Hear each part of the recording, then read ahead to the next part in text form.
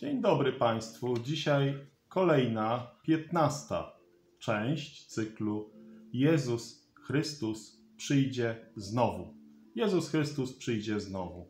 Dzisiejsze zagadnienie to, co oznacza pochwycenie dla wierzących, czyli dla tych, którzy należą do zgromadzenia. Co oznacza pochwycenie dla ludzi zbawionych, uratowanych przez Pana Jezusa tych, którzy uwierzyli Jezusowi Chrystusowi.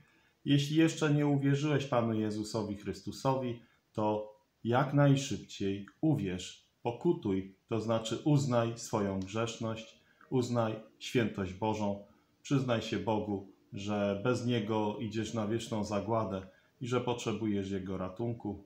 Wzywaj Pana, a On zbawi Cię, bo to obiecał. Uwierz Pana Jezusa, a będziesz zbawiony, i będziesz częścią zgromadzenia, bo Duch Święty wtedy zanurzy cię, włączy cię w zgromadzenie, zbór, kościół, czy jak inaczej słowo eklezja tłumaczymy na polski, jest wiele wersji.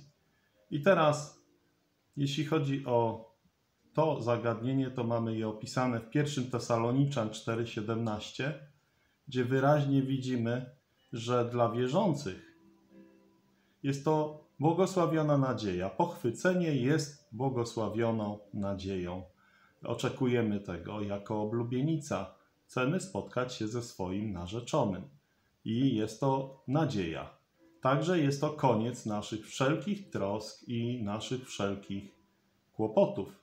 Jest to całkowicie zakończenie wszystkiego, co nas trapi i męczy. Przede wszystkim nasz własny grzech Przede wszystkim nasza niewierność wobec Chrystusa, nasze słabości i upadki zakończą się wtedy. Będziemy już wtedy w nowych, przemienionych ciałach, a więc będziemy całkowicie bezgrzeszni.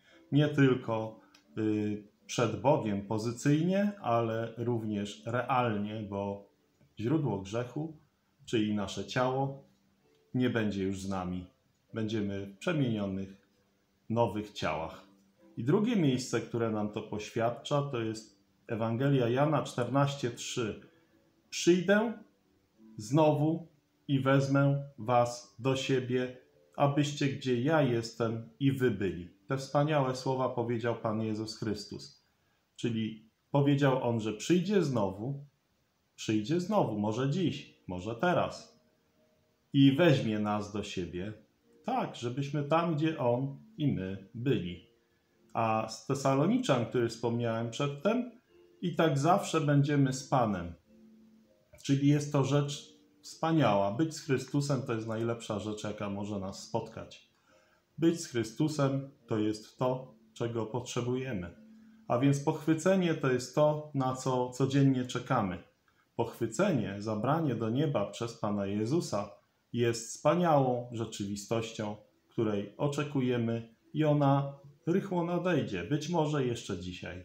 I jeżeli tak mamy to opisane w Biblii, to prawdziwy, każdy prawdziwy wierzący ma to oczekiwanie codziennie w swoim sercu, w swoich myślach. Każdego dnia wypatruje swojego narzeczonego z nieba, swojego Pana z nieba, swojego Zbawiciela z nieba. Oczekujemy, kiedy Pan Jezus Chrystus przyjdzie i weźmie nas do siebie. Przyjdź, Panie Jezu.